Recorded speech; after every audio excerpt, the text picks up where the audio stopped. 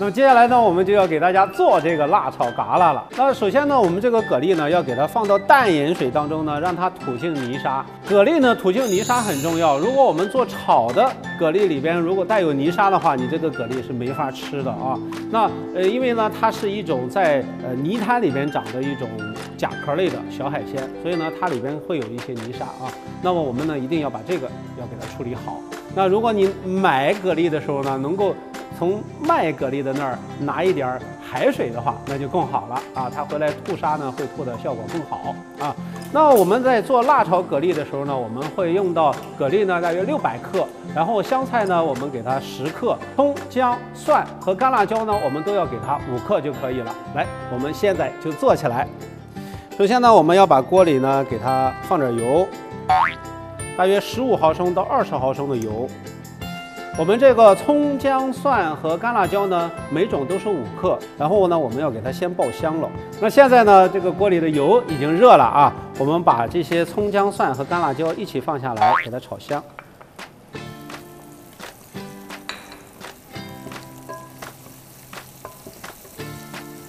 我们炒香了以后呢，这个蛤蜊就可以下锅了。把泡蛤蜊的水呢，一定要尽可能少的啊，带到锅里去，不要水。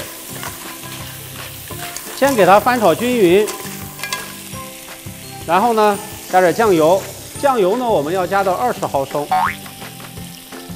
这是它的咸味和香味的一个来源。炒一下，再来点料酒，十毫升。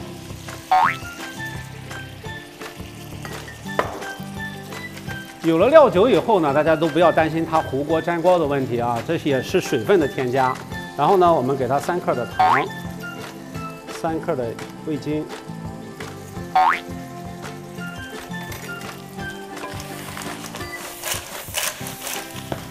这里边呢不要加水，然后呢直接把盖子给它加好，焖一下。一直到呢，所有的蛤蜊都开口，但是呢，这个火候不要过，时间呢大约是两分钟的时间，那么我们的蛤蜊呢就能够成熟开口啊，大家稍微等一下。那这个时候呢，我们要准备一下啊香菜段啊，大约是十克的香菜段。我们配点香菜段呢，是为了给它增加一点香菜的清香味，另外呢，让它带有一点绿色，这样子这个蛤蜊呢会更加的好吃。蛤蜊焖制的这两分钟呢，大家不要频繁的打开盖子去看啊，因为呢它也不会糊锅，也不会粘锅，大家也不要担心。两分钟时间到，开盖儿把香菜放进去就可以了。因为你要是频繁的打开盖子呢，一个我们蛤蜊当中的水分呢会散失的太快，另外一个呢它的鲜味香味呢也没有办法焖到这个蛤蜊肉当中去，所以我们吃起来的时候呢，这个蛤蜊就不会有那么的香口的感觉了。来，时间到。